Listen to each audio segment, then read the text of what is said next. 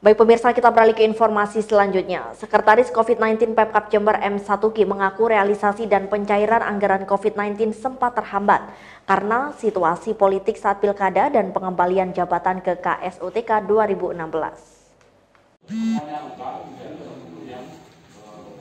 Usai hearing bersama DPRD Jember, Sekretaris COVID-19 Pemkap Jember Satuki menceritakan bahwa usai PLT Bupati melakukan pengembalian sejumlah pejabat sesuai KSOTK 2019.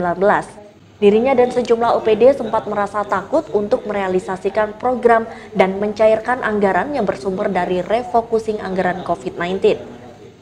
Sejumlah eksekutif khawatir jika memaksa merealisasikan anggaran tersebut akan berdampak pada persoalan hukum di kemudian hari. Sementara soal politik, momen pilkada dan sejak bupati dijabat oleh PLT, menurutnya memang sedikit berdampak terhadap realisasi anggaran COVID-19.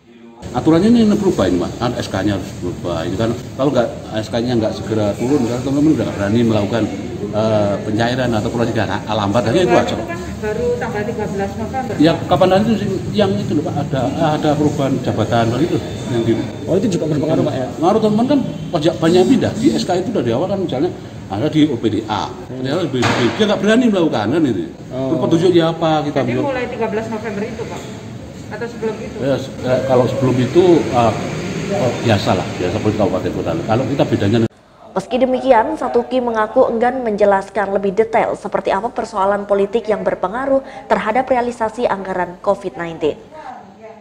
Dari Jember, DKJ Jember 1 TV melaporkan.